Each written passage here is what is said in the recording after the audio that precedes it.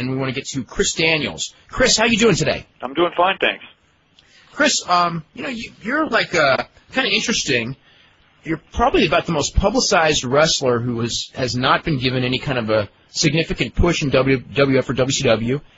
Um, pretty well acknowledged as one of the best, maybe some would say the best independent wrestler. You've actually, you're not a secret in that like everyone in wrestling knows about you. You've had your tryouts in both companies. You had a contract with WCW. You've worked in Japan extensively in the last couple of years. Just got back from England a couple of weeks back. Um, what you know? What, what, what's your future in wrestling right now? I mean, do you have any deal with WWF, or, or how does that stand right now? Um, right now, it's it's still kind of up in the air. There's no solid deal with WWF, but uh, we're in the middle of like talking about it. So nothing nothing concrete to say. You know, What's, hopefully, um, hopefully in the next couple of weeks something uh, something will uh, come about, but right now it's kind of up in the air. What's what's been your feelings as far as like in wrestling over say the last let's say a year to eighteen months? Kind of like your name's out there, you're sort of a secret, you're sort of not a secret. You've you've been around, you know, on TV. You had the chance in WCW. How would you like? Are you frustrated, or are you happy just because you know you got to be a star in Japan during that period, or what's your thoughts as far as like the last eighteen months of your career? Um, well, I wasn't I wasn't happy. I mean, I was happy to go to Japan, but it wasn't like I was satisfied. Like that was as far as I wanted to go. I've always wanted to have the job in the states, uh, whether it was with WWF or WCW. I was just looking for the opportunity to work for a company that was going to give me the opportunity to do what I could do. And so um, when I got signed in March, I was I was ecstatic. I mean, you know, a lot of people said, "Why didn't you go to the WWF? Why didn't you uh, hold out for the WWF?" And the truth of the matter was, WCW is still one of the top, you know, three companies in the business. And regardless of how far down they were in the ratings or how much of a, a mismatch people perceived WCW versus WWF, it was still an opportunity to go to a company where, you know, hopefully they would give you an opportunity to to get on television and become part of something that hopefully was going to have a chance to move up to to become more of a a match as far as the ratings and as far as the the head-to-head competition, and uh, it just never materialized, uh, unfortunately. So it, it was kind of a. I was happy to be signed, but when it when it when it was all said and done, I was a little disappointed, and uh, I feel like I would rather have been wrestling somewhere rather than just have been signed and, and sit at home like I did. Who first brought you into WCW? Um, I actually was signed. Uh, the person that offered me the job was Kevin Sullivan. So, and then he So- was so you were- Right. So you were you were you you came in like right, and then he was gone, and then you were kind of in limbo at that point. Is that yeah, how it went? what happened was um, I went back. My last tour of Japan was uh, like the first week of March, like the first three weeks of March, and so I signed my contract uh, like the first day of March, and that was when it was set from March 1st. And um, with the understanding that when I got back, Kevin said that I would be on television kind of right away. And so while I was in Japan, the whole turnaround happened where Vince Russo and Eric Bischoff came back, and when I came back, they had kind of put me on hold because Vince and Eric really had no idea who I was. So um, for a while, I thought that because Kevin had left, I was going to be let go, and they told me, "Don't worry about it. Your contract is with WCW. It's not with Kevin Sullivan." So after a while, uh, I just waited at home, and then around June, they called me and they brought me on the road with them for a couple weeks, and uh, that was when they tried to do the thing with Vampiro, and that never worked out. So then they took me off the talent list, and then a couple weeks later, they called me and released me. The thing with Vampiro, you were you were the you were the guy in that cloak, right? Right. And where, where was do you know where that was supposed to go, or did because you were like I think you did, but what one or two TVs, and then if the the character was just I guess dropped or something. Yeah, we did. We actually did the one, uh, the one vignette with me under the hood where I had the speaking role, and uh, the idea was going to be that I was I was going to play pretty much the fallen angel character minus the like the visual religious overtones. They wanted me to play a more of a cult leader, um, kind of like a David Koresh character, and the idea was going to be that I was going to have some sort of hold over Vampiro, whether it was uh, like a mental thing or, or some sort of information that I had that he didn't want out. It was some sort of uh, power that I had over Vampiro that he was going to come to me and uh, I was going to guide him sort of. And then at some point we'd break away and then I would be on my own uh, to you know, interact with different different uh, wrestlers in the federation. And um, the idea was the first day was supposed to be they were going to shoot from behind me. It wasn't going to be me under a cloak. It was just going to be me. They were going to shoot from behind me, so they didn't see my face. But uh, for some reason, the director nixed that, and they did that side shot where I was under the cloak. And uh, we did it the, the one Monday after the pay per view, and then the Tuesday they didn't do anything, and then by the next week they had already killed it. Were you, I mean, like, you know, sitting at home during most of that 90 day period, and then watching TV and seeing, I mean, did, did you have this thing where it was just sort of like, well, I've got to wait my turn, or did you have the attitude of, look at what they're putting on TV, I know I can, like, you know, work rings around at least some of these guys, you know what I mean? You know, you know, you know what I'm saying? Yeah, Or- I, I, um, when I heard that I was going to be kind of put on the back burner, I kind of understood because I knew that they were going to try and rebuild from where what with what they had first. They didn't want to put any new characters on because I guess the whole idea was they were going to start from scratch when when Vince and Eric came back. So I, I kind of understood that I wasn't going to be, you know, the top, uh, you know, the main priority at that point. So I was I was content to sit and wait for a while. But um, you know, after after a little bit, uh, I got the impression that you know Eric and Vince were always talking about they were going to try and build new talent. They're going to try and get new faces. They were going to try and make stars instead of depend on the stars that they had had. And um, you know, I, I I thought that I fit that bill rather well. And as time went on and, and they didn't use me, I got a little discouraged. But uh, you know, those are the breaks. So Now, now, right after um, they dropped you from contract, I think it was like three or four days later. They were doing TV, and I think it was was it Long Beach, but it was Southern California, and then you were you they used you again. Right. Yeah, go figure. I worked more. I worked more for them as someone out of contract than I did when I was under contract. So that's And then, and then, like in recent weeks, um, you did the WWF thing with the, the Conquistadors. Uh, now, which matches were you and Aaron Aguilera, and which matches were Edge and Christian? um, it was always Edge and Christian. They we never wrestled as as the Conquistadors. Oh, really? You- never. Yeah. Oh, I thought that one of the matches. So, so the, It was like the first that, one. The only time that we were in front of the people as the Conquistadors was when uh, Edge and Christian were wrestling Too Cool, and the Conquistadors came out and like went to the ringside and made faces and went ah, and uh, that was us. But every other time it was Edge and Christian, and and it made sense because the idea, as far as I understood it, was they wanted people to, they wanted everybody to know it was Edge and Christian all along, and so for us to go out and wrestle.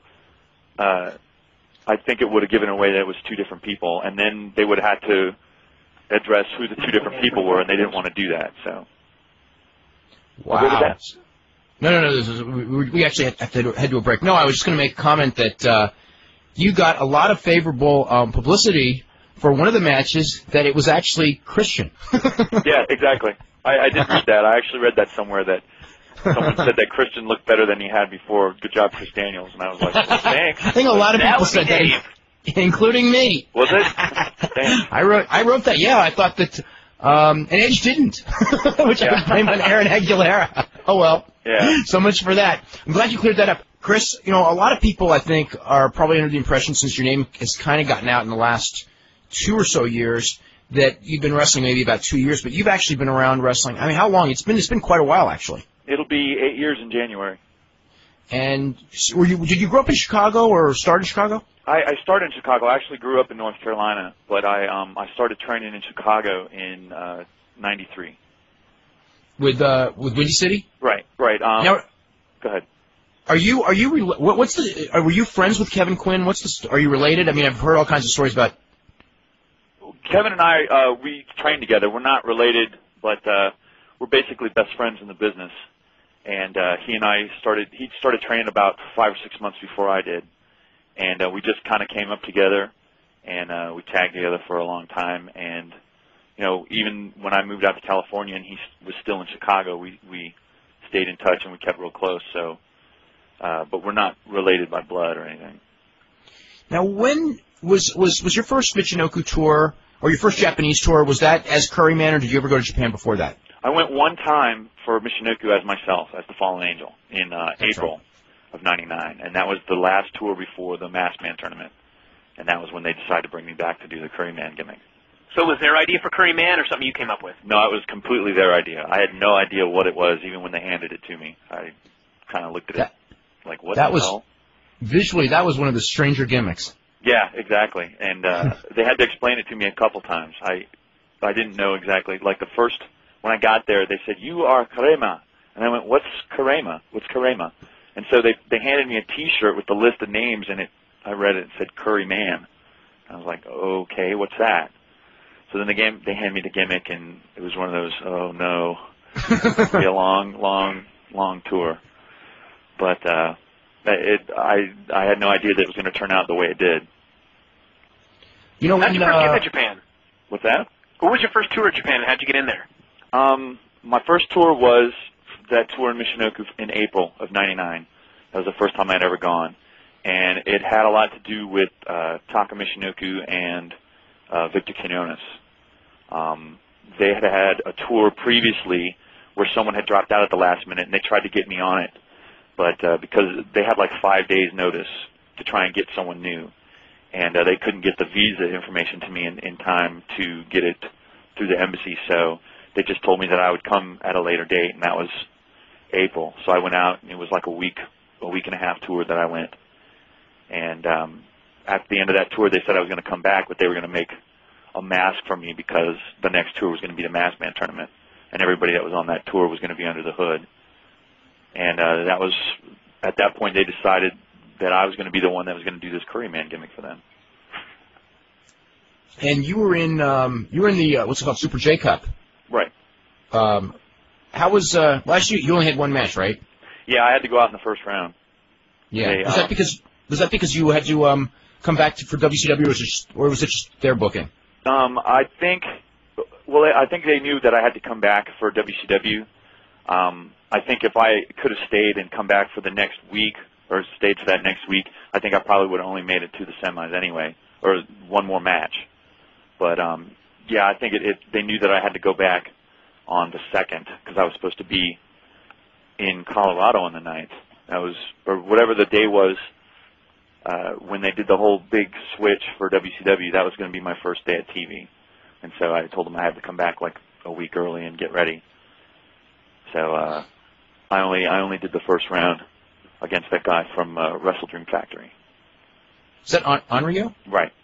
Right, right. That was an interest. That's an interesting gimmick. He's kind of like a, a high flying Undertaker thing. Yeah, yeah. I was uh, I I liked the gimmick when I first saw it, and uh, over the course of the weeks that I was out there, and I saw pictures and and uh, a couple of video promos on him, I was uh, I, I kind of liked it. I thought it was pretty neat, and it was a different little thing that they had going on out there because a lot of the guys they're either under a hood or they're by themselves. Are a whole lot of guys that are doing like a a gimmick where they're you know makeup and and a you know that type of uh that type of gimmick. So I, I thought it was pretty cool. Do you ever have a problem communicating in the ring in Japan? Um, no, most of the wrestlers that I met speak enough English that we could, uh, you know, kind of put together what we needed to put together. Mhm. And, um, you know, we, but, you know, we would talk it out a lot. We would talk it out pretty much front to back. We wouldn't, it wouldn't be like, okay, I'll do this and then I'll just work you, work you, work you until this point. We pretty much went pretty much top to bottom. And then, uh, you know, if I had to call something that I didn't tell them beforehand, it would, I would keep it simple. But um, there was a, there was a couple times where it was a little difficult, and uh, we'd have to get a translator in the in the locker room to go like, okay, this is what I want to do, this is what he wants to do, and uh, we'd smooth it out. But most of, nine times out of ten, we re- really didn't have a problem. How was uh, how was England? England was fun. The the the two times I went over there, I really had a lot of a lot of fun with those guys. Um, the first time I went out was for a guy named Dan Berlinka, and he was trying to start a company called the UWA. So I went out for a TV taping for them, and uh, I had a real good time out there. But they it was like they made the whole like international thing was all about me coming out. So I was kind of like the the invading American of the whole crew, and everybody else was like homegrown talent. And then um, just recently, I went back out for this group called the U uh, UCW that was headed by one of the guys that was uh, what do you call it? Uh, um, I guess he was a color commentator for them. I don't know if or a talent scout or something. But now he's like the head guy. And this time he tried to bring a lot of different people in. He brought in Otani, and he brought me in, and he tried to make it like an international thing.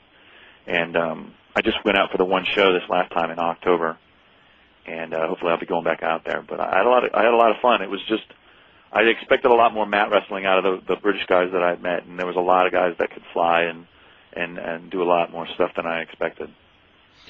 Now, now you wrestled Otani on that show, right? Right. Yeah. What what what was your thoughts about that? Because you you did never work with him before, had you? No, no, I never had. I uh I was a little intimidated, to be honest with you. I, you know, uh to know that you're going to go in and wrestle a guy l- like Otani, a guy of his uh you know, his reputation and and know that he's going to put you over. I, I was a little intimidated. And I, I you know, I, I went in kind of nervous.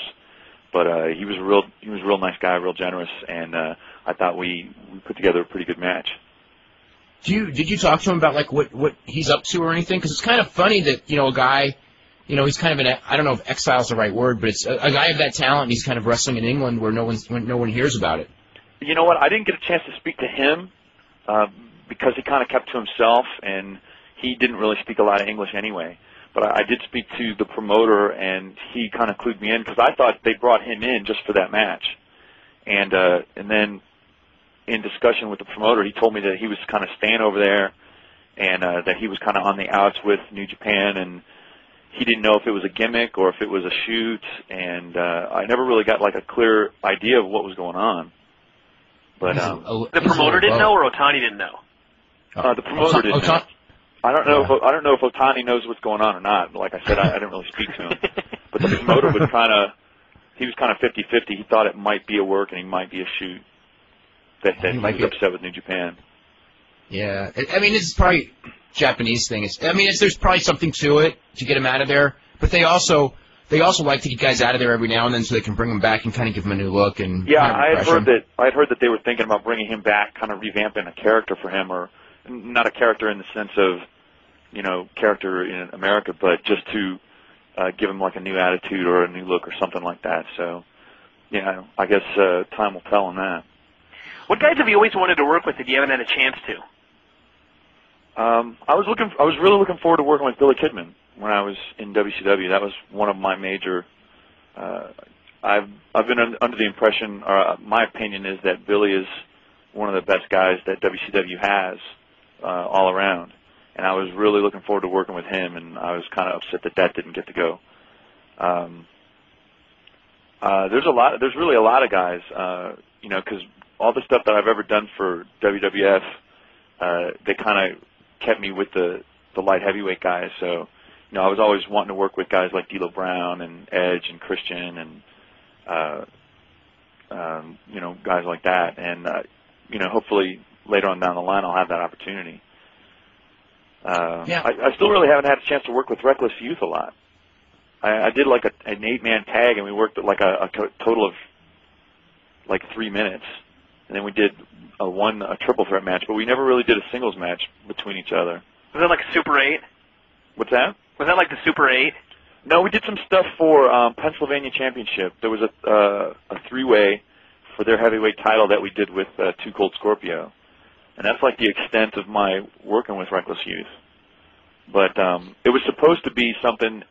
The not in, in 1999, it was supposed to be Reckless and me in the finals of the Super 8, and he uh, he pulled out because he was hurt, and they replaced him with Steve Bradley, and that was. Uh, that was like the big gimmick at the time because Steve Bradley wasn't even supposed to be in the tournament and he ended up winning it. So uh yeah, I I still haven't had a chance to work the singles match with Reckless yet. of, of guys, you know, you work, you've probably worked as much as far as certainly for a West Coast guy, but um, almost for anyone as far as like a lot of different independents because you've been really all all over the country. I mean, are there any ones that that are like your favorite, and any guys that you have worked with or that you've seen on these shows that are kind of like undiscovered talents? Um I don't I don't have like a favorite. I have a lot of I have a lot of favorites. Um I really enjoy working for Jim Kettner and the ECWA out in Delaware. Um every time he's brought me out, whether it was the Super 8 or or any of his regular shows, I've uh I've really had a, a good time. He's got a good crew uh, a good crew and uh just uh, his fans are there. You know, he's he's conditioned his fans to appreciate the guys that he has there, and uh, every time I've gone, they've they've had a live crowd. Um, I, I enjoy working for Roland Alexander and APW. I think they've got a, a good bunch of guys, and um, you know, guys like Mike Modest and Donovan Morgan and Tony Jones. Those guys, uh, you know, they're they're kind of on the bubble uh, of being finally brought into the big, you know, the big three.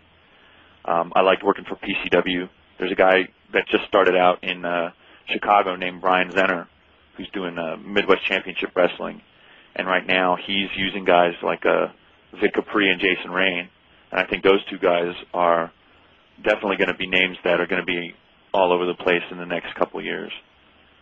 Are you still doing the 1 800 collect shows?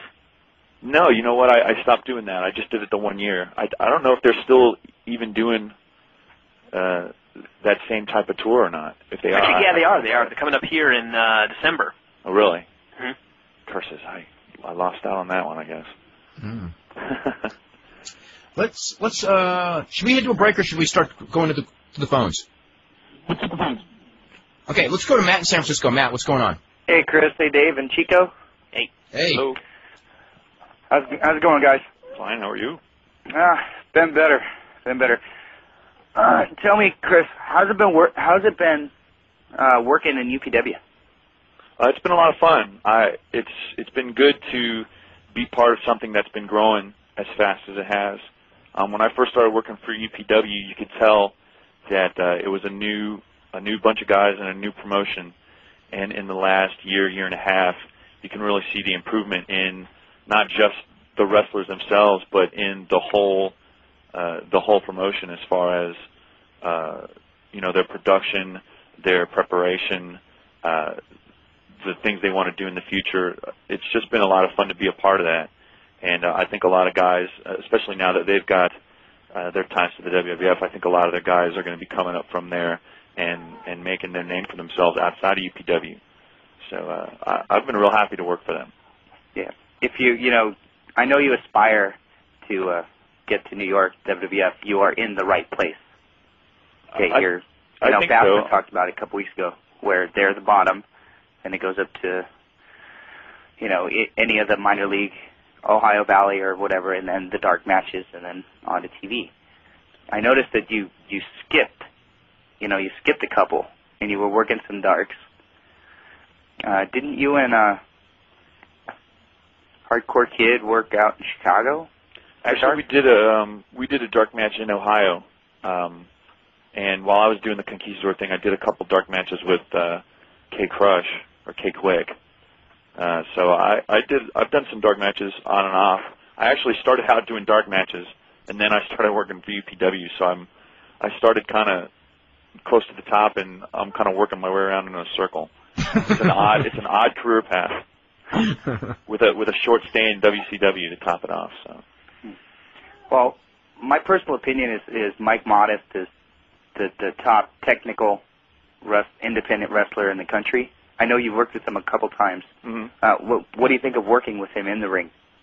Um, I've had good matches with Mike. I've been real, real happy. I think because we've only really had the opportunity to work together twice, and both of the matches that we had, uh, I was real, I was very happy with, especially the second one. And I, I think Mike is is one of those guys that he's on the bubble of being brought in. It's just a matter of of time and and luck, and uh, I I I can't say I can say nothing but good about Mike. Yeah, I, I see Mike as as a talent that that a promotion can build around, um, just because of, you know, he he can work, you know, in the ring. He could do this stuff on TV, whatnot, and also, you know, he's a damn good trainer. And He's uh, also he's also an underrated promo. he's a damn good heel. Yeah, I mean, like you know, You've been lot- in the lot gym of- wars. Come on. You know, I know he's, he's a, I think he's a he's a great performer. You know, the thing with a lot of the guys on the independent level that some people don't recognize. I mean, I think there's this this mentality with some of them that like even the ones that are good workers, so to speak. It's like, well, they're good workers, but what are we going to do with them because our business revolves around promos, not realizing that there are some guys at that level who who are good promos. I don't think that they, that they get the credit for that because you know the people don't like with, with Modest, for example, when he went to WCW. He never really had a chance to do a promo. I don't think Chris was ever given a chance to show what he could do on a promo. So they're thinking like, well, you know, it's a, it's he's a good worker, but you know, this whole business is promos, and it kind of hurts some guys who actually, you know, it's another thing where you talk about not getting a chance. Uh, it's just another aspect of it. Yeah, and there's there's really no place, there's really no forum for independent guys to show that they can do promos. I mean, you know, you can grab a microphone at the beginning of a match, but that's not really the type of thing that they're doing now. And so it's it's kind of it's kind of an unfair it's kind of an unfair deal where you never really get a chance to either work on or or prove that you can do the types of promos that are being done on television. And and you know, I Dave, I think you're exactly right. Mike is completely a good promo, but not many people would know it because how many people would have actually seen it? Yeah. What was it like to uh, to work with Kurt Angle? Because I know you had the chance to work with him not all that long ago. Um, it was it was uh, it was it was great. I had a good time working with Kurt. Um, Kurt and I met like two years ago when he was in the dojo. We were both in the dojo together uh, at the WWF, and uh, to see where he's come or how far he's come in two years, it was uh, it was kind of cool. And it's weird because as much success as he's had in the last year, he's he's probably a nicer guy now than he was when I first met him.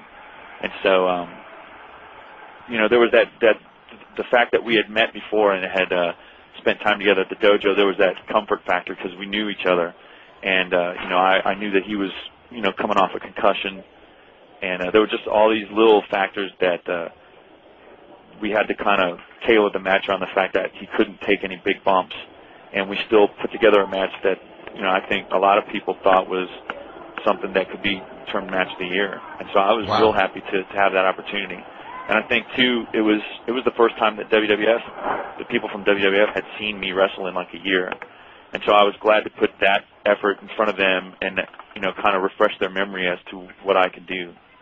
And so it was it was a real good situation for me, and it, it kind of got me back on track because it seemed like for six months while I was on the the WCW vacation plan, uh, I kind of dropped out of sight, and then all of a sudden I kind of hopped back into into the spotlight by wrestling Kurt. So. Any other overseas tours besides England and Japan?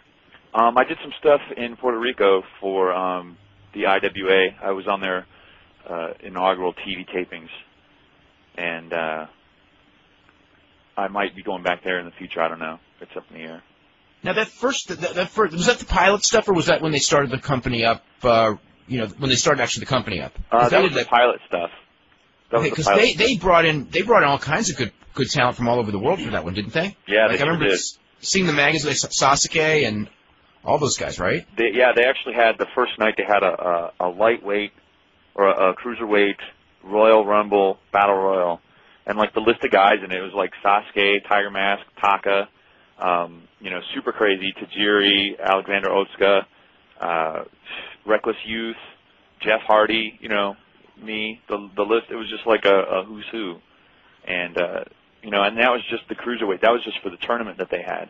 You know, they had other guys outside of that tournament that they, you know, the headhunters and and uh, Aguila and all these guys. So it was a, it was pretty stacked. It was a pretty stacked three day deal. Let's go real quick to Matt. Matt, what's going? Matt, we just want to finish up. Yep. Uh, Okay. I know I know you remember the match in uh, September '98 at the Raw the Raw taping, Dave, San Jose, where uh, Chris and Taka tore down the house. Um, I actually didn't see that match. No, you didn't. You didn't see the shotgun match. I um, no, because I was because on Monday nights I even even when Raw comes to San Jose, I won't I can't go Monday because I got to watch Nitro. I got to watch both shows. So um, I've been to a lot of SmackDown tapings. I don't I haven't I don't know that I've ever been to a Raw taping because of that whole deal on Monday.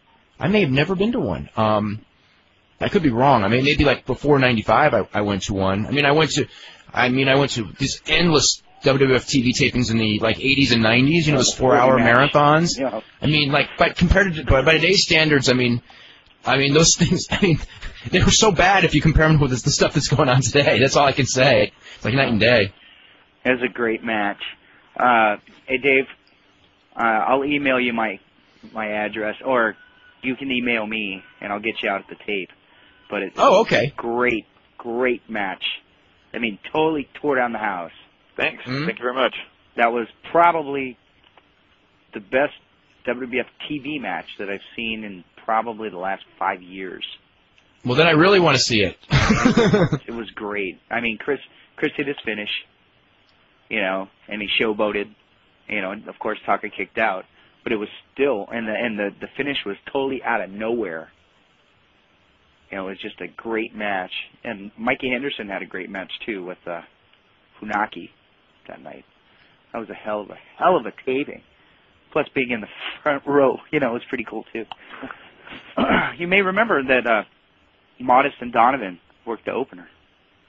Yeah, yeah, I remember that day. That was a that was a good set. It was actually when um it was right around the time that Blaustein was doing his uh Beyond the Mat taping and he wasn't there, but he was there the next night and uh that was the night that Modest and Tony Jones had their tryout, so and they tore down the house. yeah. yeah. That's so. I don't know. You know, it's it's it's it's well, you know, Chris, what's it like to do a tryout match? Because it's like one of those things where the fans are so conditioned to see stars that you know you're working with such a handicap almost. Um, you know, you know what I mean? Like they're they're conditioned not to think you're good because they've never seen you on TV, and you really got to win them over. Yeah, I think um, I think the uh, the bar is set really high for tryout matches because there's no there's no downtime. I mean, a lot of the things that go on on television, there's there's a there's a comfort zone because people know that. Uh, I mean, the guys that go out that are on television all the time, they know that all they really have to do is poke their head out the curtain, and the crowd is, is with them or against them, depending on who they are. But uh, if you're unknown, the people are brutal the minute you come out, and it's really bad when you have to try and play the babyface role because you come out there and you're trying to get the crowd behind you, and they're like, "Jobber," you know, and you're like, "Oh, it's going to be a long match." But uh, I, I was uh, I was pretty lucky because I think it's really hard when two guys, com- like two complete uh, unknown guys, go out there, and and it's like no matter what you do, unless you're hitting, you know, huge, uh, you know, Stardust presses and and all these big big moves, the crowd is, is you, you already got two strikes against you, and so I was really lucky that all this most of the stuff that I ever did uh, was with again was against guys that people knew, so at least they had that to kind of get behind of the stuff I had against Taka and the stuff I had against Kaientai. At least they had that recognition factor, and so it wasn't like a complete you know, boo, get out of there, get out of the ring. We want to see, you know, whoever whoever the star is, and um, you know, uh, at least at least I didn't have that going against me all the time. But uh, yeah, it's difficult, and um, you know, I, I was just happy. I was just happy that we had good matches. You know, Taka uh, was one of the guys that was real generous, and and he he really put me over like a million dollars in that match that that guy is talking about. Uh, we really really was it was almost like 80% me and uh, I had a you know just to have that kind of thing where Taka would put you over in front of that many people and and to the people in the back uh, it was it was a big deal and I really appreciate it Okay, we're gonna One move more. to Sean. We're gonna move to Sean in Florida. Sean, what's going on? Uh, hey guys. Uh, I wanted to ask uh, if you'd heard anything about uh, the uh, Bubba the Love Sponge show this morning. I have not. Brian, have you heard anything? No, nothing. Uh, he was uh, he had Hogan on as uh, pretty Oh, much boy. usual. Oh, was Jimmy Hart on there? no, but uh, he was pumping up. I guess he's going to have a dark match with uh, uh, Texas Hangman on uh, Survivor Series. Bubba is. And uh, yeah, well, so- he, he works whenever anyone comes to Tampa. I think it's like it's like um the mob. You have to put Bubba on the card. Precisely, exactly. And uh anyway, him and uh Hogan were kind of teasing that Hogan was gonna, you know, come over the railing and and help him out in that match and it was just kind of odd that they would even tease that with, and it wouldn't seem there would be any possibility of that happening. Well, no, uh, well, let's see. He can't appear on TV, but if it's in a dark match, I wonder what the legalities are of that. I mean, I'm pretty sure he can't because he's under contract with WCW until mid March. Right. Yeah, the Bubba was like, uh, well, I don't want to get you and in drag him out trouble with your WCW contract, but, you know, is there a chance? And Hogan was like, hey, you never know. Yeah. You know, you know, whenever there's a show in Tampa, like any kind of a show, um, like an indie show, there's always those rumors. You know, Hogan's going to come. You know, I think he floats them himself, and then you know, but then he doesn't come. How about him sitting in the front row? I don't know. I don't know what it is because remember when uh, Rena Mero did that? I mean, there was like a lot of problems out of that one. Yeah. If But nothing really contract- happened. It was more threatened. Yeah, I'm trying to remember. I don't. I, I mean, I don't know like exactly what how the contracts state, but I don't think you can do it because you know, when Flair was in the middle of his contract problems with WCW, you know, they wanted to, you know, kind of have, you know, just he'd be like in the crowd at a Greensboro show, and oh, there's Ric Flair just to do it, and they couldn't do it. Hmm. Uh, so what did what did, did Hogan say? Anything else like uh, like anything about Russo or Eric Uh, Bischoff? no, or- no, no. Fine It, it's it's almost difficult to get Hogan to talk about wrestling uh, on that show. But anyway, and uh, Bubba went on to. He was pushing tickets pretty hard, so I mean they must be uh, a little They're ways from sold a sellout. out. They're not sold out. Oh boy. Uh, I mean, I mean, it's like I, I shouldn't push the panic button, but I mean, there was a day when you know WF pay-per-view tickets. They certainly wouldn't be. Ha- they would certainly wouldn't be any, any of them left a couple days before a show. Right. Or Bubba doesn't know what he's talking about. Well, that's always true. he did go into a, a long spiel about how he had personally had a conversation with Vince McMahon, and Vince had told him that he needed to get people in there at six o'clock, even though the ticket said seven forty-five, and all this. And it's like, okay, Yeah. But, but, uh, I don't know what to say. I can imagine that conversation. I don't know. I just hear about Bubba the Love Sponge, and I've um, I've actually never seen him. I've just heard descriptions of him what, from his wrestling matches. Yeah. Well, he- a couple of years ago, he was enormous. I mean, like 400 pounds enormous. So that he's trimmed down lately. So I'm sure we'll get a high flying spectacle on Sunday. that reminds me of some, an email I just got, but I got. I'm gonna have to read it in just a second. Any, anything else? No, that's all I got for today. Okay, thanks a bunch, Sean. Um, I wanted to read this really, read a couple things really quick, and then we'll get back with uh, with Chris. This is um, this I sort of brought it up. This is from the WWF's new video, no, the No Mercy video game that just came out. Says the game. This is from uh, Jim J.M. Smith, who says the game is awesome, but there's a few interesting moves. A lot of the females in the WWF only have a few moves in real life. Normally, they only have a few moves in the video games as well, but in No Mercy, they've got a lot of moves, and there's two really good ones. Mae Young's got a Hurricane Rana that she uses all the time, and my personal favorite is Stephanie McMahon's finisher, the Tiger Suplex 85, which I guess is that the half Nelson German suplex. And he goes, yes, Stephanie looks like she does it just like Mitsuharu Misawa. I wonder if she designed that game I was herself. say, maybe she wrote that. um, this is also um, Vampiro did a real audio interview, and here are some quotes from the interview. Um, so uh, Vampiro is. By the way, Vampiro is certainly talking like he's never coming back to WCW, which we've been hearing actually for about a week now. He goes, sorry, I was just in the bathroom taking a WCW, which I'm sure is going to make people feel really good. They didn't have any toilet paper, but I still wiped my Terry Taylor with a Vince Russo. What do you think of that? I wiped my Terry Taylor. Okay, so Vince Russo's toilet paper. Uh, he floated for a bit, then it sunk, just like the ratings for that show, since I'm not there anymore. I really can't say much about the details because it's a legal thing right now, but I'm definitely out of wrestling, and I'm playing bass for ICP on their Bizarre Bizarre tour.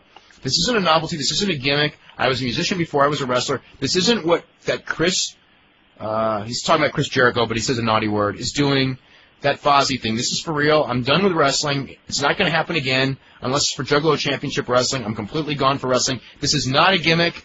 Wrestling is over. Uh, don't believe it. I don't know. I am skeptical. And this is from uh, Mike. This is an interesting one. Um, let's see. Since WrestleMania, name one good storyline the Dudleys have been in. I can't think of one. It's just me, but they just fight meaningless matches every week on Raw and SmackDown. Yeah, they just tease table spots and D-Von does the headbutt to the groin.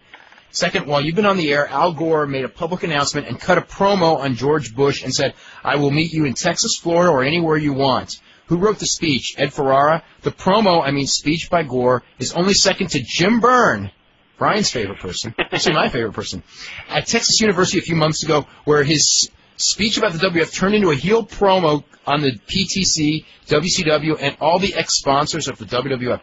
So he cut on the PTC and turned himself heel. Wow, that's pretty difficult to do. So Byrne, Byrne has a lot of talent in ways we didn't realize. By the way, I also want to make mention because we've gotten several corrections. There are cable packages in Canada that do carry UPN. So um, not everyone in Canada was able to get SmackDown, most were not, but but there were in fact people who could. So I just want to bring that up. Um, and let's get back to um, get back to Chris. Chris, I wanted to ask you. You know, we brought up Kurt Angle a couple of minutes ago. Um, you were at the um, you were at the dojo with him when he like literally the first time he ever probably saw pro wrestling because he was not a fan growing up or anything. Um, not first, not the first time he ever saw it, but the first time he was ever really around it. I mean, did you think that he had the potential to be where he's gotten in two years, or does that floor you? Um, I was a little bit surprised. I mean, I, I knew that he had the talent, but he was such a quiet guy that I didn't I didn't see the guy like the sense of humor that that he exhibits on television. I didn't see that there. He was just kind of quiet and he kind of stayed to himself. And so it, I was expecting almost like uh, like the '80s style amateur wrestler turns into professional wrestler type wrestler.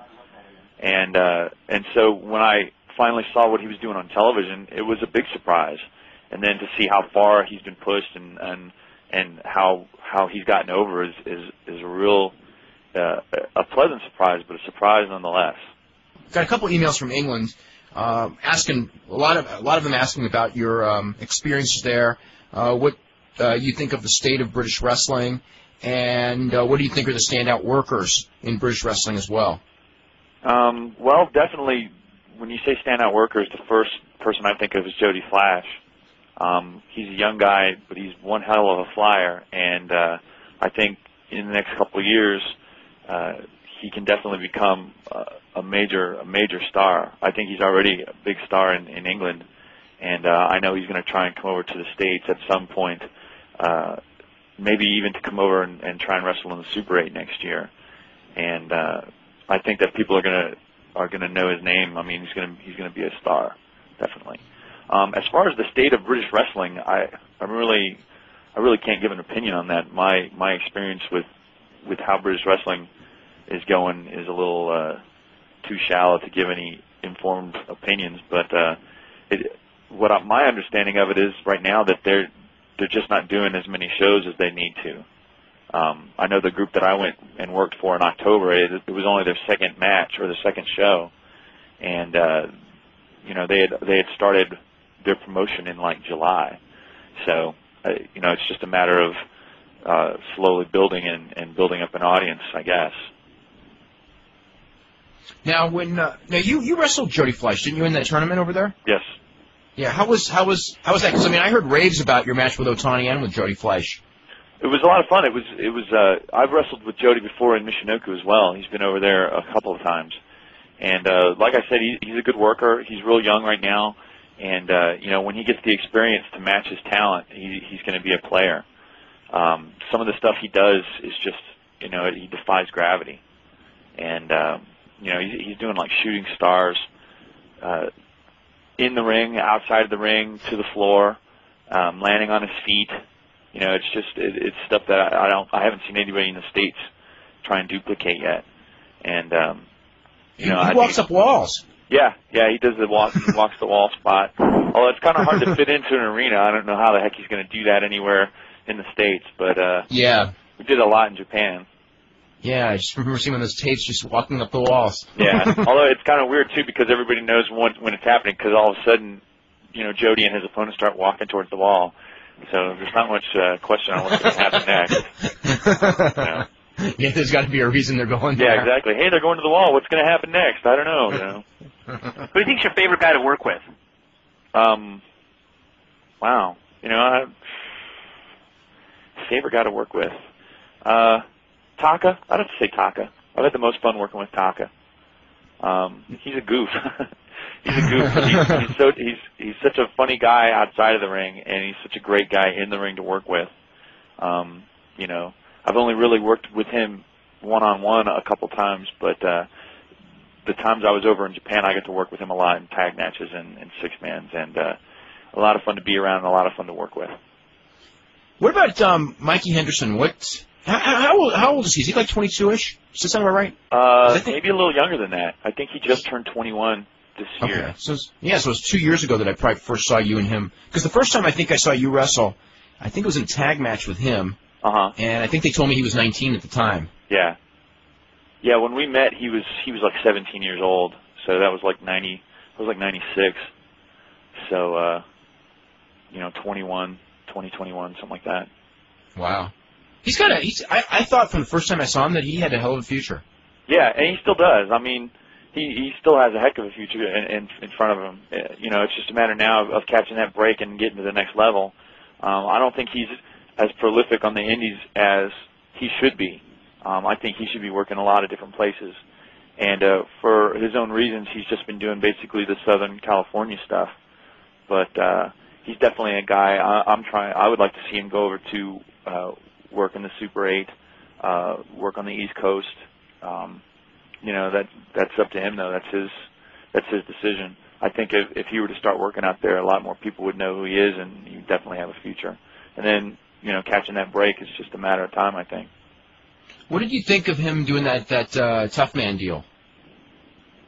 Uh, I, I, uh, it was funny that that he actually went and did that. Um, I think as a tough man, he's a good wrestler. Maybe what's the diplomatic way to say it? I they didn't really show a whole lot of him on television, but I, I knew that he he had a lot of heart and he stuck with it. It just uh, it wasn't his it wasn't his deal. But I mean, I you could say that about a lot of the, the wrestlers that were in there, and a lot of the football players too. It was kind of it was kind of grotesque to watch. It was a real messy show. Yeah. I, I, you know what I felt really bad about was that all the wrestlers had to wear those pants that kept coming down, so it was almost like they were like they were Lita or something. All they needed was like a, a pair of like a thong underwear to stick out. You know, poor uh, poor Aaron Aguilera had that thing almost down the crack of his ass. So I, I felt really bad about the pants more than anything. I think was the pants. It was. I, I just remember watching that show, just going like, oh, this is like. yeah, I, it- it's weird. You know, I, I'm glad I never would have done that because I don't, I don't, I know that my strong point is not, you know, trading punches with anybody. But uh, for you know, that was it took a lot. Of, it took a lot of heart for them to get on television and do this thing that you know they they probably knew that they weren't going to be very good at, and uh, for them to go out and have the heart to stick with it, you know, I, I got to give them that much. Yeah. Uh, you know, maybe a pair of shorts in addition. you know, something for next time. Yeah. Let's go to Matt in Vancouver. Matt, what's going on? Hi, how are you guys doing today? Hello. Doing very good. Well, that's good. Um, is it true that WWF is trying to buy a Headline Sports? Um, not buy the whole company. They bought um, they bought one half of one percent of the stock today, and they have the option to buy up to ten percent of the stock by February of 2002. And and they're going to put the XFL on that, right? Yeah, that's in can. Yeah, right. And, And- and uh, SmackDown and uh, Metal. Yeah. Uh, why are they putting SmackDown on if some Canadians can already get it? Like, I guess en- I, I guess enough of them can't. I, I didn't even know any Canadians could get it until I found out about a few minutes ago. well, over here we get uh, Tacoma, Washington. Oh, well, see, okay, that's different. See, that's like if I mean, I guess people get it on the border, but you know, you're getting it from on, from a border signal. I mean, Get Tacoma all the way in Vancouver. Yeah. Wow. UPN 11. that's and probably on, on the cable. That's probably on the cable. That's probably not. It's on the cable. It's not like you get it over the air, right? No, it, it's on the cable. Yeah. See, so that's that's believable. But yeah, it's, it's still um WrestleMania uh, 17. Are they going to break that barrier over 66,000, or are they going for 66,000? Well, whatever they're going to get it. I mean, they got fifty thousand already. It's five months away or four and a half months away. Um, I mean, the building's sixty-six thousand, so that's what they're going to end up with. Um, So whatever, um, whatever they're going to get with whatever the place holds. It's not like uh, they can't they can't get like eighty thousand. It's even even if they say they did, which they won't this year. But they, you know, that's what they're going to get. Um, was do you know if the Rock uh, Chris Benoit match from uh, SmackDown was a good match? I mean, I could, It'd I, I hard no one, to. yeah, nobody in a report said anything one way or the other. But unless it was like one minute, you know, I, I'm I would think it would be. I mean, you know, if you watch, those guys always have a good match. I don't think they, they've disappointed yet. Those two, as Um, far as in a single. What was that thing that uh, Triple H had a back injury? Uh, do you know what it was called, or what? How long he would? How long he's going to be out for? He's wrestling Sunday. It's pretty bad. I mean, I'm sure like under normal circumstances he wouldn't be wrestling Sunday, but uh, he's got like a lot of problems. Is um, he he's got uh, you know the inflamed um, what's it called sciatic nerve, uh, which is giving him uh, muscle spasms. He's tore uh, muscle in his that went to that went to his hip, uh, bruised his hip bone. Um, things you know has ligament sprains. I mean, his, his back is a mess. Um, Chris. Um, what, what were the wrestlers that you looked up to when uh, you were younger and that you try to uh, follow in your career right now? Um, when I my first favorite wrestler was Magnum TA. I grew up watching him, and I got to see him wrestle uh, Flair and, and Nikita Koloff live, and that was a big deal. And um, I'd have to say uh, the other guy was Ricky Steamboat. I, I really liked watching him work, and uh, I thought he had a hell of a career everywhere he went, and he was definitely somebody that I looked up to. Um, as far as as far as career though, the the person I kind of looked up to in terms of my wrestling was Shawn Michaels. He was always the guy that I tried to emulate. Another one. There you yeah, go. Put it on the list. Shock. Um, Every no, it's it's it's it's it's like our inside joke because, like, every wrestler that's young, um, that comes on the show, that's always the name they bring up. yeah. Is Shawn Michaels. Well, you know, um, I think a lot of it had to do with I think a lot of it had to do with the fact that he was a smaller guy coming up. He was like one of the first smaller guys coming up in a big man's company or in a big man's, you know, job. And uh the fact that he ended up becoming world champion says a lot against the big man stereotype in professional wrestling. And I, if there's one thing that I was always against in in wrestling, it was always the fact that if you weren't big, you weren't good. And uh, you know, I, I still fight it now. I mean, I, I'm I'm trying to put on weight, but I'm I'm still. It's one of those things where even in this day and age, people have the the tendency to look at me and go, "Hey, you're a wrestler," and that drives me crazy. I think I think there's so many good like cruiserweight, light heavyweight guys that aren't even like 230 that that are so good as wrestlers, and and you know Look it's still Mysterio hard who- even in this day and age for people to break that that uh, that stereotype in their mind that big Look at, man like- equals wrestler. You know, Bit Mysterio and Juventud. Yeah, yeah, definitely. You know, I mean, you know, Mysterio's absolutely tiny. yeah. But Chris, have you have you way. I mean, Ray now is is so jacked though. Yeah, I, mean, he's small, but he's so muscular. But I mean, I was I was on a show, I was on a UPW show with Hoovy like uh, last week, and uh, you know, physically, I'm bigger than Hoovy. You know, and I, I Oh, yeah. kinda, I kind of look at myself like if if you're smaller than me, uh, you're I'm like the low end of of size as far as wrestling in my eyes. If you're smaller than me, then you better really have something to show other than size to to get yourself somewhere. And uh, you know, Hoovy's got it. So Chris, have you been, have you ever met uh, Ricky Steamboat or Shawn Michaels? no, I haven't. Oh, and uh, do you guys know what the Heat- the Heat main event for is uh, this Sunday? uh, Steve Steve Blackman Boss against Man uh, and Blackman. Boss Man.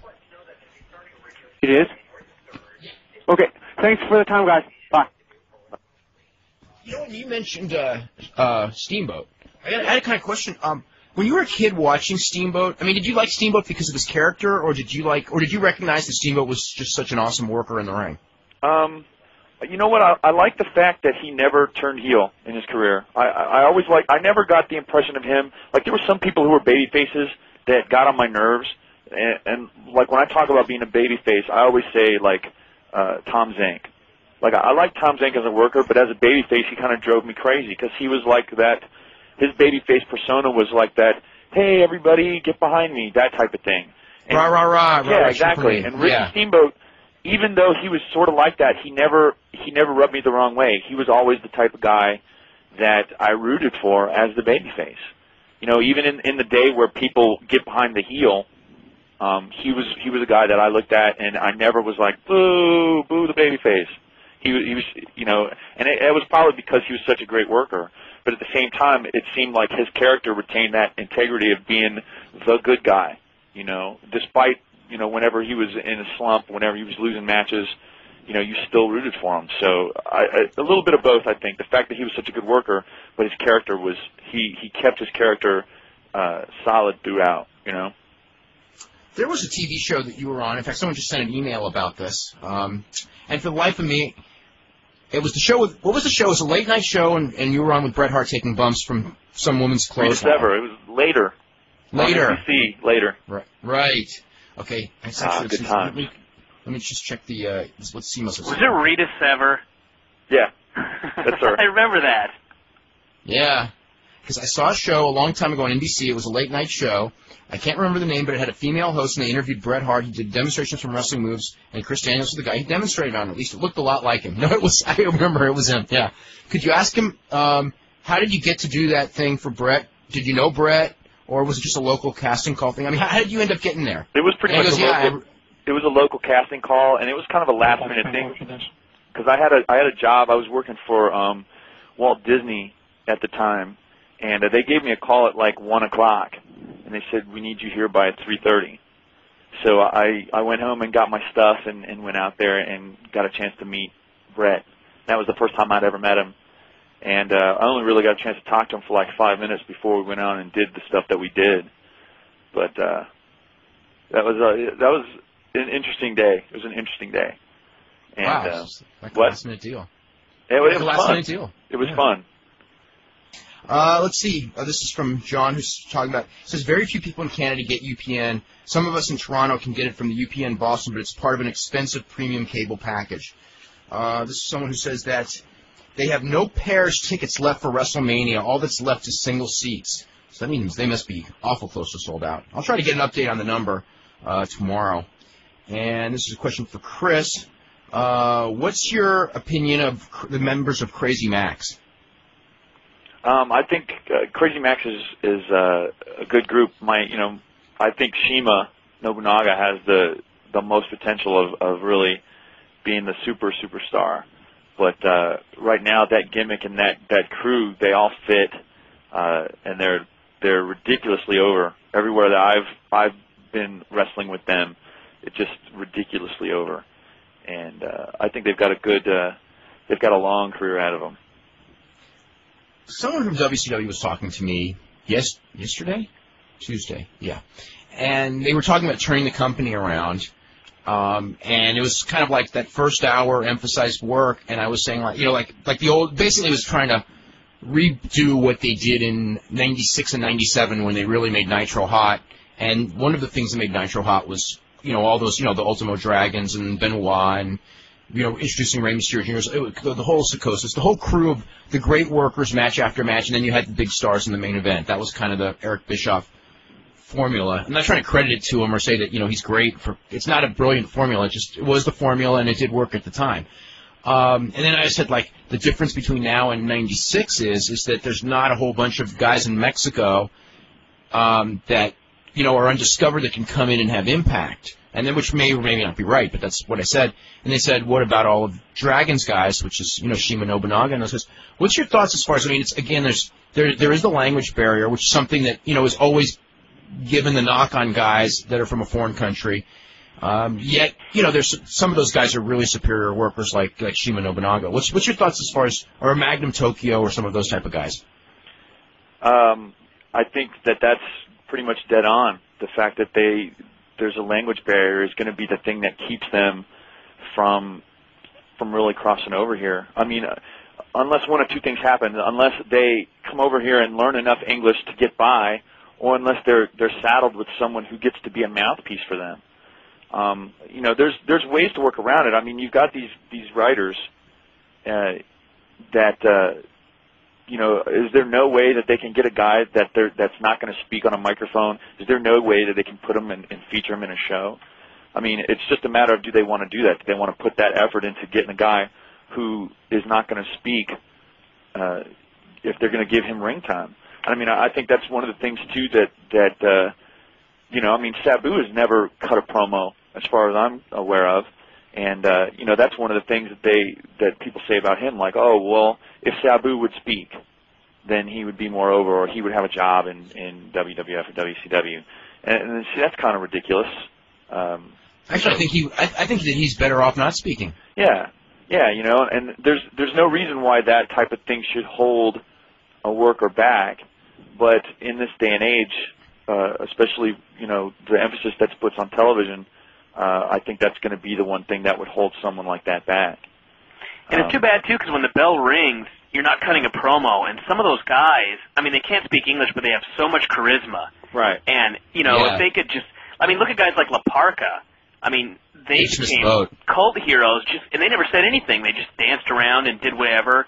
And I mean, there's guys in WCW right now that can speak English, but they still can't cut a promo, and they have no charisma in the ring. You know, the, the, the, the other thing as far as like, you know, every rule in wrestling, you know, that, that we'll hear, w- there's always an exception. And I mean, like when you're talking about like, well, you know, they can't get over because they can't cut a promo. And I started, you know, the first things pop in my head are Kane and Bill Goldberg. And and granted, those are both real big guys. But I mean, like, as as a kid watching wrestling, there were plenty of guys who weren't big guys. In fact, some small guys uh, that got over huge that never did a promo, but but usually it was because they had a good manager by them who did the promo. I mean, Bobby Heenan could have gotten over if you if there was a good worker, any good worker anywhere, he could have been a masked a masked man who never spoke. Um, but if he was good enough in the ring and you had Bobby Heenan out of the ring or Jim Cornette out of the ring, you know they'd get him over. Yeah. It's just it's just now do they want to take that time and effort? You know, it seems like they're looking for the quick you know, the the uh the quick fix, the quick uh the quick get over. You know, and, and do they want to put the time and effort into getting somebody who's not going to speak English? Are they going to put him with a manager? Or are they going to put him in situations where he doesn't have to speak? And uh, you know, maybe they think it's just easier to find somebody that can speak English and teach them to work rather than have a guy who can work, you know, circles, uh, come in and and and figure out a way to get him over without having to talk. So it, it's kind of a it's kind of a, a backwards uh, it's kind of a backwards thing, but it's the way it is right now. Have you ever seen a tape of Urban Wrestling? Say that again. Have you ever seen a tape of Urban Wrestling? I Urban saw one? I saw their first show. Yeah, I saw, well, I don't know if it was their first show. I saw a show of them. Yeah, because I was actually just before we went on the air, I actually saw th- that for the first time, and I thought it was like interesting in that it was clear to me that they took a bunch of guys with no regard to whether or not they could work, but as far as like we could make characters out of them. And then I was watching it, and it was like once the bell rang, I mean, I just couldn't get into it because you know again they they couldn't work. Yeah, the the show I saw, they had um, Tony Jones wrestling uh, Vinny Valentino and uh, a couple other guys. And my opinion of it was, it, it seemed like they had, it seemed like every other place. They had guys that could do some good stuff and guys that couldn't do as much.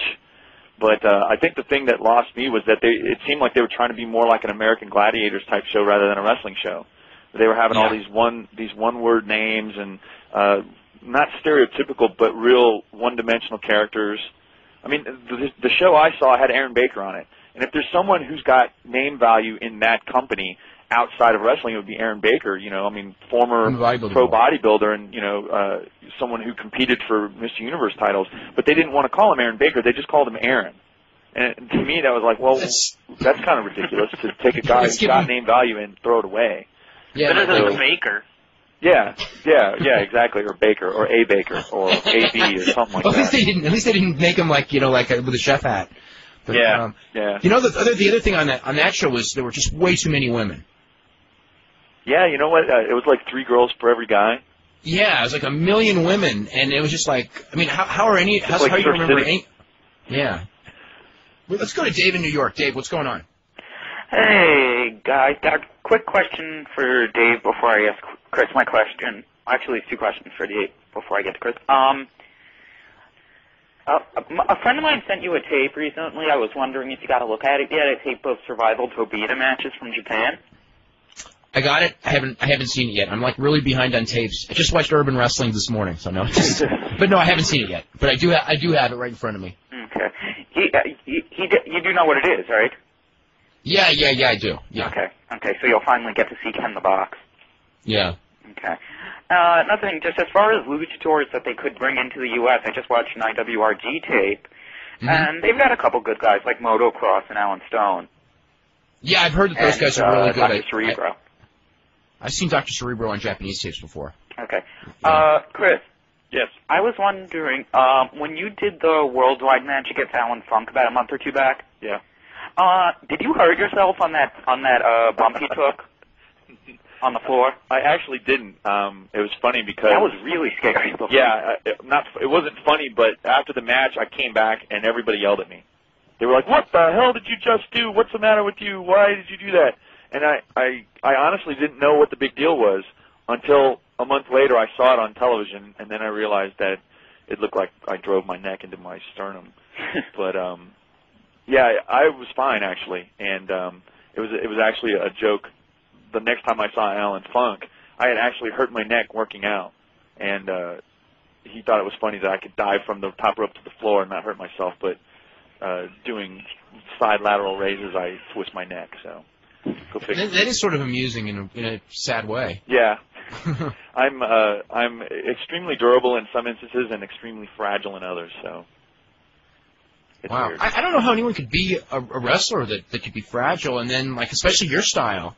You know, it's like you know because you're you're bouncing up. I mean, I from from the matches I've seen you. I mean, you're bouncing up from from everything. Yeah. Well, I've, I've been really lucky. I've only been injured seriously once, and uh, everything else has just been kind of passing, you know, bumps and bumps and bruises. So And what was I've that? been extremely lucky with some of the stuff I've done, and uh, yeah, I don't understand how guys can can be wrestlers and be fragile. I mean, I know a lot of guys that spend a lot of their career being injured, and it seems to me like how how can you stay with it? How can you stick with it? But What was What the was uh, your serious serious injury? What was your serious injury? Um, this last this February, I pulled my groin in Japan, and I ended up having to. It was the first time I ever had to cancel a show because I was hurt, and uh, it was so bad that I, I couldn't even walk. So, but it, the the thing about it was, or the good thing about it was, it only kept me kind of messed up for like three weeks. So I, again, I was really lucky. It could have it could have laid me up for a really long time, and it it just so happened that it got it got better like in the middle of my last Japanese tour. So. Were you working injured when you did the Super 8, eight or was it recovered by then? No, I was working injured. It's uh, I was I thought I was recovered, and as I was in the locker room and I was stretching out, I pulled it again. So I ended up wrestling three matches, kind of hurt. Um, if you watch the tape, the match that I had with Ace Darling, he gives me the bulldog. I can hardly stand up because I, I pulled it like extra hard, taking the face bump. And as I'm getting up to take another move, I'm I'm kind of staggering pretty badly because I, I couldn't stand up straight. Wow, because you had two just awesome matches at that show. I have to compliment you. Thank you very much. Especially uh, the match with Vic Capri because that was just it was just unlike anything you'll ever see on an indie tape and, and like any other indie tape because like you just stiff the hell out of each other in that match. Yeah, um, I was lucky. Vic is a Vic is a really good worker, and he's got a good uh, sensibility as far as the Japanese style, which I think in the past like two years I've kind of developed into uh, without even really knowing it. And so to to tell him what I wanted to kind of do in the match, and he kind of followed me with it. And uh, the thing about it too being that we we kind of knew we were going to put everything in there and and shake hands afterwards, so it was no no big deal to get in there and take a couple of hard shots. Um, someone sent me an email of a picture that they took when he gave me the uh, the About half Nelson Nelson suplex, suplex? and it's uh, a picture of me like right on the top of my head with my legs sticking straight up in the air. Oh my God. Yeah, that was a nice picture though. laughed and laughed.